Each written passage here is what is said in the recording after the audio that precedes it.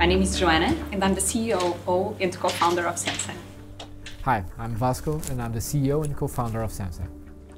Hey, I am Paulo, and I am the CTO of Sensei and responsible for overall research and development. So at Sensei, we use the power of computer vision to help retailers understand everything that is happening at the stores.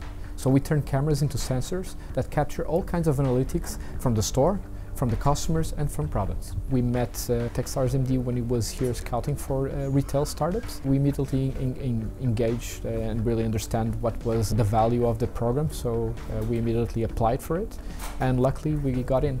So one of the best parts of the accelerator was the engagement and access to the teams of Metro and Real. They were very helpful uh, to let us know from the insights how the operations of a grocery retail business works. This is really a competitive advantage, a competitive edge that we have towards any other startup working in this field. My favorite part was the Mentor Madness. Um, the, the first two weeks of the program were very, very intense and very tiring. We had about uh, 10, 10 meetings per day with several experts in the retail area and uh, investment area. It really helped us direct properly the, our business, We understand the value that we could bring with our technology to retail. Validating what the product is all about, that's probably the most important thing we took from there. I think we more or less have the technology handled and then also of course exchanging ideas with other CTOs of other companies and all these family uh, uh, environment that we have. The demo day was very, very intense. Uh, we got the chance of pitching to about 10 tables of investors. It's the end of the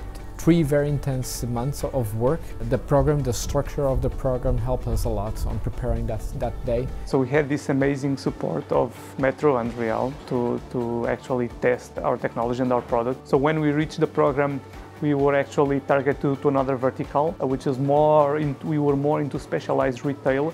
And then in Mentor Madness and interacting with people from Metro and from Real and all, uh, the mentors actually gave us this clue that our product could be quite fit for another vertical, which is really supermarkets. Of course, this has a whole new set of requirements that we had to validate on the floor. Everyone was very supportive and they opened us the doors of the stores at night and we were like working overnight day after day after day, doing different tests, different scenarios. Everything was quite efficient. We are really, really, really grateful for that. Right after the program, we closed a, a round of investment. We just recently won uh, one of the H2020 calls, which uh, validates the merit of uh, our technology. Uh, actually, we are expanding the team. We are doubling the size of our team at the moment.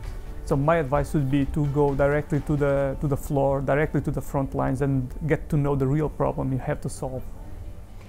And my advice would be to know everything about your markets, your sector, and talk as, with as many people as you can because you're going to learn a lot from their experience.